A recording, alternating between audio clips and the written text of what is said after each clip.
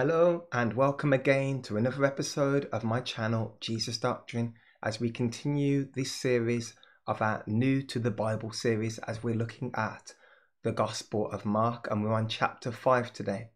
Now, hopefully, you're all beginning to realize that there's a lot more than what I'm saying that could be said about each of these chapters and it's important that you also take to heart the very things that you read and that stand out to you. It's not just the things I'm highlighting here that are in these chapters, there's a lot more that could be said. And it might be the case that as you're reading, God doesn't show you all that I'm telling you. That's fine because you're going to reread this book over and over again through the years of being a Christian, and God's going to speak to you many different things. I want to encourage you to keep reading. A chapter a day is a good pace for a new believer. Read, pray, understand. Hopefully, these videos are helpful. I have been a little bit guilty of going into too much detail, I believe, and so I'm going to try and make this one a little bit simpler as we look at the book of Mark, chapter 5.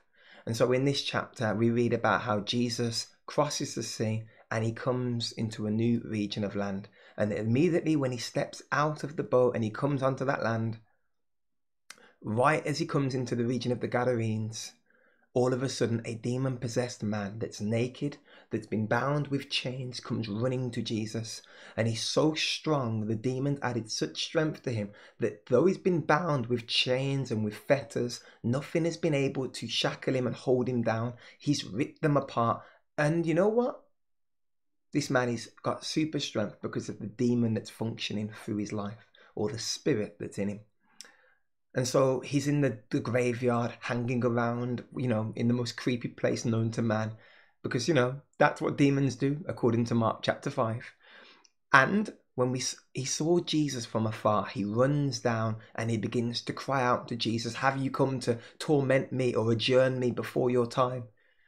And Jesus then say begins to speak to this demon possessed man. And in verse 9, the Bible says this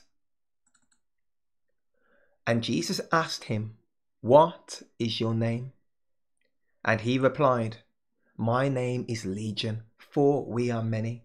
And he begged him earnestly not to send him out of the country. Now a great herd of pigs was feeding on the hillside, and they begged him, saying, Send us into the pigs, let us enter into them.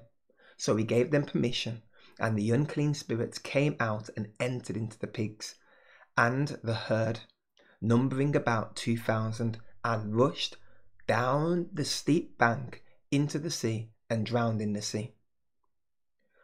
Let's keep reading a little bit more. And when the herdsmen, the herdsmen fled and told it to the city and in the country, and the people came to see what had happened.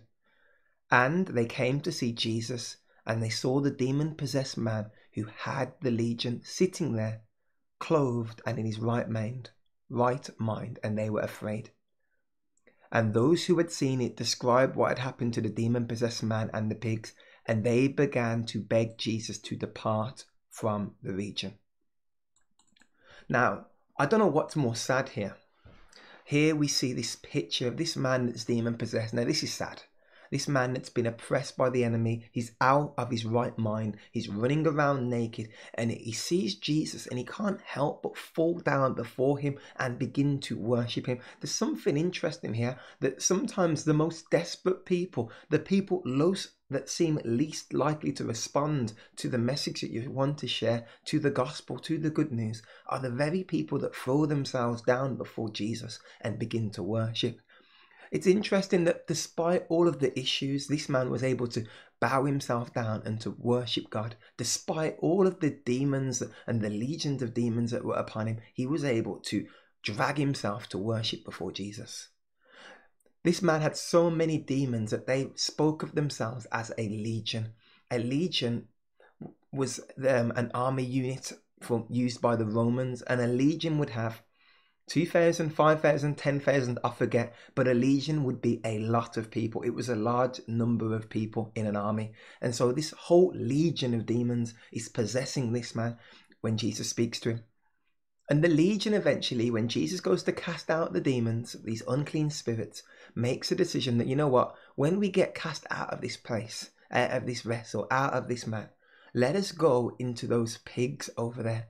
And as they go into the pigs, their pigs run off the side of a cliff and die. Now, it should be interesting to note that in a Jewish territory, pigs are an unclean animal. You should not be farming pigs and you should not be eating pigs by the Jewish food law regulations. So, whoever owned these pigs was a crooked Jew and was not living by the laws that they were given in the Old Testament. And so we get to a very interesting dynamic now. Why did they have these pigs and how are they going to respond to knowing that these unclean animals that they should not have had in Israel anyway have killed themselves? They respond by asking Jesus to leave. The people were afraid. They were afraid of having their lifestyle changed by the holiness of the Messiah, by one who has power over evil. But they didn't want their life changed. So they pleaded with Jesus not to set them free, as he had done to this man who was now in his right mind, who now had no demons, and that now was clothed. But they asked not the demons and the issues and the evil in their life to leave, but they asked Jesus to leave. And this is sometimes how we res- we see people respond to the message of the gospel. Jesus is either asking me to change my life or I'm asking him to leave. And this is what was playing out right here in this passage of scripture. So Jesus is now being begged by this demon possessed man, let me be a disciple, let me follow you. But Jesus tells him, go home, tell your friends and tell your family all that's done for you and how the Lord has had mercy upon you.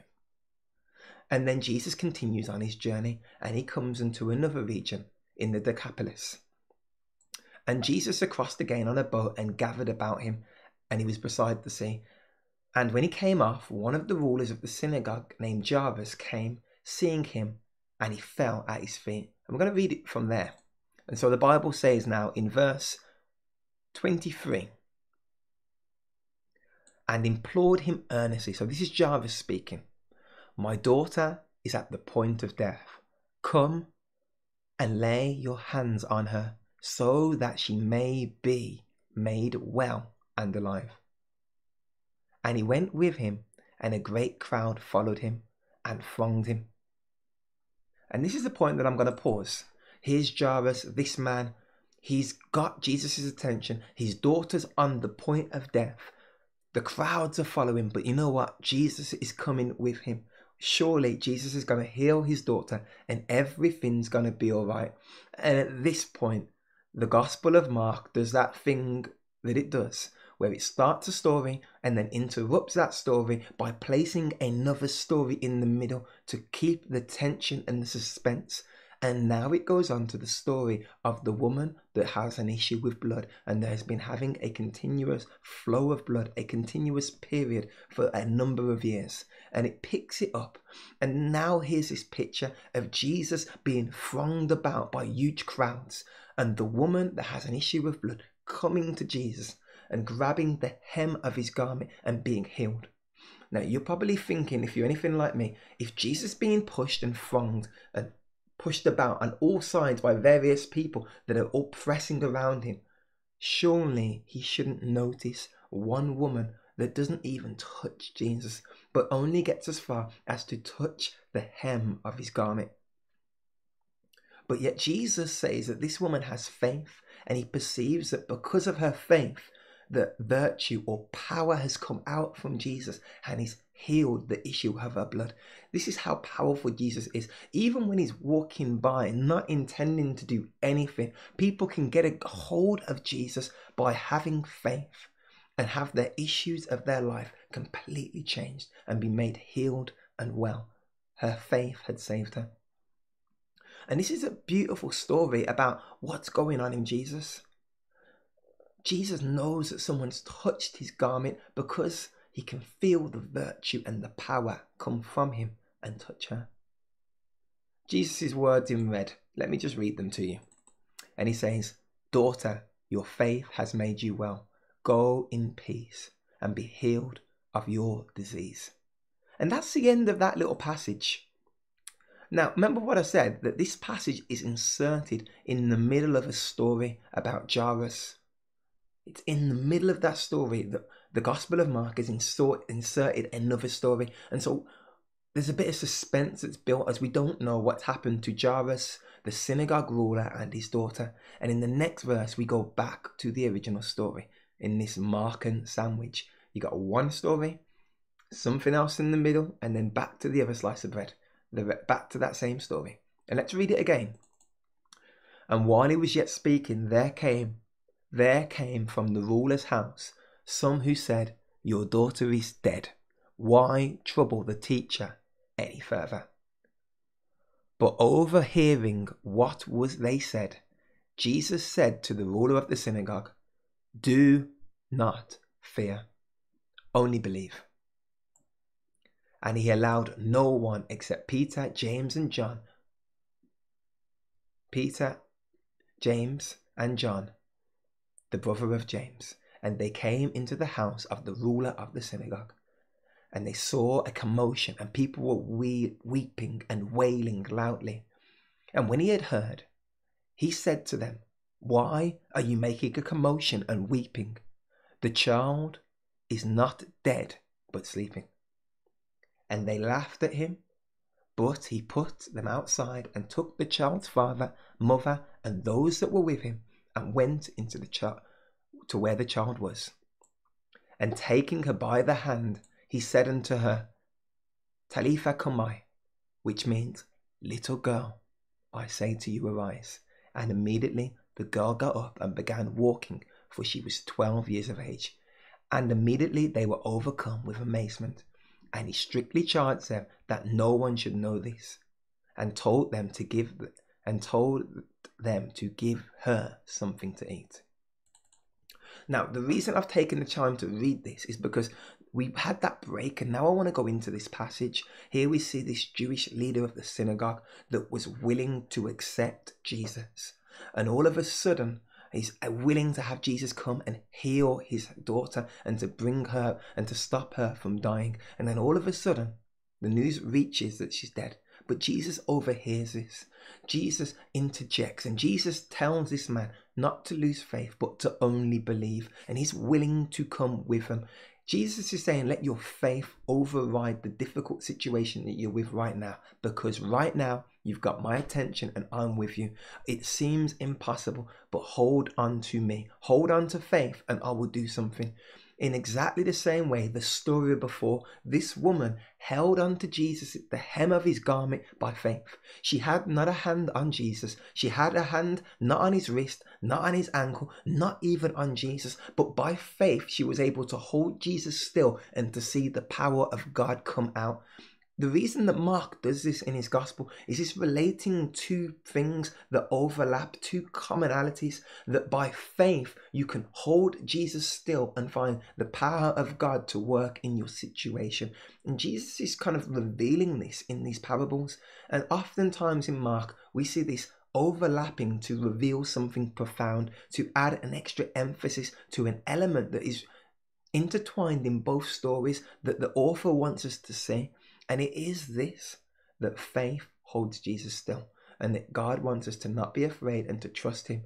Whether we be struggling with a disease all of our life, or whether we be the, about to die, or we've heard bad news about something, trust Jesus with it.